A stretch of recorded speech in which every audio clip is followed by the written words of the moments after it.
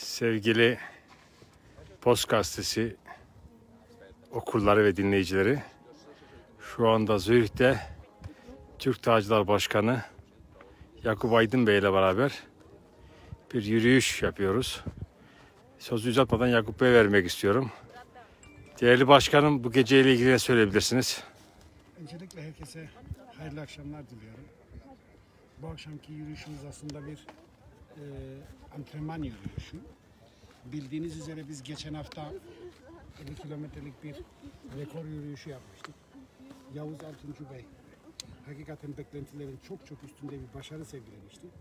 Ve o e, hem kendisini hem bizleri de ciddi bir şekilde motive etti. E, bize şunu gösterdi ki bir insan istediği zaman yapamayacağı bir şey yok. Önemli olan insanın bir şeyi gerçekten istemesi. Biz 25 kilometrelerde bırakacağını düşünürken hakikaten çok üstün bir başarı gösterdi. Bu da bizi motive etti ve Yavuz Bey'le birlikte antrenmanlara devam etmeye karar verdik. Çünkü gördük ki e, bir insanın üzerinde eğer e, istek olursa ve o insan bir motivasyon kaynağı bulursa başarı, başarılı olur ve başaracaktır. Bu bağlamda da biz Yavuz Bey'le birlikte antrenmanlarımızı sık sık böyle yapacağız ki e, biz zaten e, sözleştik. Ümidimiz, niyetimiz odur ki 2022 yılına e, 100 kilonun altında girecek Yavuz Bey kardeşim. Tabii ki bu bizim e, ana ve tek hedefimiz değil veya olmazsa olmazımız değil. Sadece bu bizim bir ümidimizdir. Ümidim, ümidimizdir. Olmaması durumunda da pes edip de eyvah olmadı artık biz hedefe ulaşamadık diye bir durum söz konusu olmayacak. Yakup Bey size katılmak için gereken şartlar nedir? Şimdi e, ben öncelikle bir şey dile getirmek istiyorum. Bize biz bir takım eleştiriler aldık. Alıyoruz daha doğrusu. İşte bize katılınamıyor veya bizimle birlikte yürüyüşe gelinemiyor diye e, bir takım eleştiriler aldık. Ben izninizle bizim e, İsviçre Türk Dağcılar Kulübü'nün kuruluş amacını e, neler yaptığımız ve neler yapmak istediğimizle alakalı biraz e, e, dile getirmek istiyorum. Biz 2018 yılında İsviçre Türk Dağcılar Derneği'ni kurduk. Ee, ilk etapta çok güzel bir e, atılım yaptık. İnsanları davet ettik bizimle katılabilmeleri için. Katılımcılarımız oldu. Fakat zamanla bizim katılımcılarımız maalesef e, azaldı. E, insanların kendi işlerinden dolayı vesairelerden dolayı vesaireden dolayı. Şimdi ben bir şey dile, dile getirmek istiyorum. Bize katılmak için e, bizim her hiçbir şartımız yok. İsteyen istediği zaman katılabilir. Ancak bizim şöyle bir küçük bir sorunumuz var. Biz sürekli ve çok sık çalışan insanlarız. Biz spontane hareket edebiliyoruz. Öğlenden sonra karar veriyoruz. Biz Yavuz Bey'le bugün öğlenden sonra birlikte karar verdik. Dedik ki bu akşam bir iki, iki buçuk saatlik yürüyüş yapalım dedik ve biz yürüyoruz. Bizim e, önceden belirleyip tarih verip saat verip e, hareket etme şansımız kısıtlı. Tabii ki onlar var. Biraz sonra dile getiririm ben onları. Ancak e, antrenman yürüyüşlerinde biraz spontane hareket edilmesi gerekiyor. Kısacası bizim herkese kapımız açık. Herkesin e, bizim bize katılmak isteyenlere karşı bizim aslında iki şartımız var. Şartlarımızdan bir tanesi e, yürüyüşümüz esnasında sigara kullanan olsa dahi sigara içilmemesini e, şart koşuyoruz. E, ikinci bir e, şartımız da bizim yürüyüşlerimizde siyaset konuşulmuyor. Konuşulmayacak, konuşulmasını istemiyoruz. Çünkü biz nötral insanlarız. Herkesin siyasi görüşü kendisine kalmalı. Biz e, her türlü siyasi görüşe e, kapımız açıktır. İkinci şartımız da aslında siyasi konuşmaların olmaması. Yakup Bey kıyafet konusuna girelim. Biliyorsun hep söylediğiniz bir laf var, sizin söylediğiniz bir söz var. Kötü hava koşulları yoktur, kötü kıyafet vardır. Ee, kış, kış ortamındayız.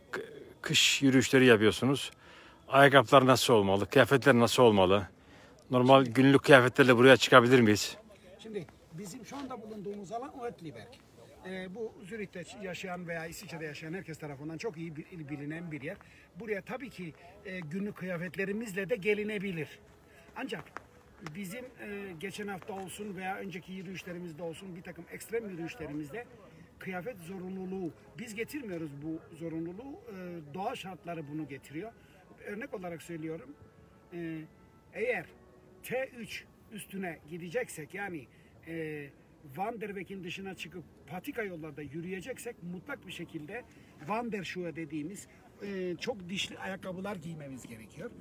Kış şartlarında biliyorsunuz hava soğuk. E, soğuk havaya karşı alınması gereken önlem aslında hepimizin bildiği bildik önlemler. İçlik giyilecek, içimiz e, iyi sıcak tutulacak ve olmazsa olmazımız yürüyüşe çıkan bir insanın çantasında mutlak bir şekilde yağmurluk bulundurmak zorundadır. Yani su geçirmeyen bir yağmurluğu yanında mutlak bulundurmak zorundadır ki olası bir yağmur esnasında e, istenmeyen durumlarla karşı karşıya kalmasın. Peki Yakup Bey 50 kilometreyi yaptınız, başardınız. Ee, 100 kilometreyi düşünüyor musunuz? Şimdi biz 100 kilometreyi evet düşünüyoruz ve bunu hiçbir şekilde Yavuz Bey'siz düşünmüyoruz. Dolayısıyla biz e, biliyorsunuz Valencia'yı e, dolaştık. Valencia'nın kendisi 50 kilometreydi. Şimdi bizim ikinci hedefimiz Zürih'se Zürih, e, Zürih Gölü'nün etrafını dolaşmak istiyoruz. Biz bu o, Zürih Gölü'nün etrafı tam e, 109 kilometre. 109 kilometre ve bu 109 kilometrelik yürüyüşü biz Mart ayı gibi, Mart Nisan başı gibi yapmak istiyoruz. Ancak biz bu e, programımızı e, yıl sonuna kadar 2020 sonuna kadar e, 2021'de yapacağımız e, kolay yürüyüşler, orta yürüyüşler ve zor yürüyüşler programlarını biz e, internet e, Facebook sayfamızda açıklayacağız. 2020'nin sonuna kadar bizim önümüzdeki yıl yapılacak aktivitelerimiz, antrenmanlarımız demiyorum, aktivitelerimizi 2020'nin sonuna kadar bizim Facebook sayfamızda görebilecekler. Yakup Bey bu hafta sonu için programımız var mı? Bu hafta e, bizim e, pazar günü, cumartesi ya da pazar günü e, e, isteğimiz, ümidimiz Miten'e çıkmak. E, 1980 metreye Miten'e çıkmak istiyoruz. E, burası T3 kategorisinde. İşte biraz önce sorduğunuz kıyafet zorunluluğu dediğiniz orada işte ayakkabı e, zorunluluğu ortaya çıkıyor. Yani günlük kıyafetlerinizle gidebileceğiniz bir yer değil. Olası eğer bizimle katıl bize katılmak isteyenler olursa e, eminim beni tanıyanlar bana nasıl ulaşacaklarını biliyorlardır. E, Türk Dağcılar Derneği'nden ulaşabilirler. Oradan e, bize mesaj Bu yazabilirler. gece yürüyüşlerini haftada bir kere yapacak mısınız? Gece yürüyüşlerini ve biz e, son e, önümüzdeki dönemlerde sık sık yapmak istiyoruz. Çünkü dediğim gibi biz çalışan insanlarız. Çalıştığımızdan dolayı gündüzleri çok zamanımız olmuyor. E, antrenman yapmak için ancak geceleri yapmak durumundayız. Yavuz Bey'le bizim gece yürüyüşlerimiz çok sık oluyor. Oldu. Çok teşekkür ediyorum. Yavuz Bey birkaç sözünüz var mı? Evet, kendimi çok iyi hissediyorum 50 kilometreden sonra. E, Öttiberk'e çok e, seri bir şekilde çıktık. E,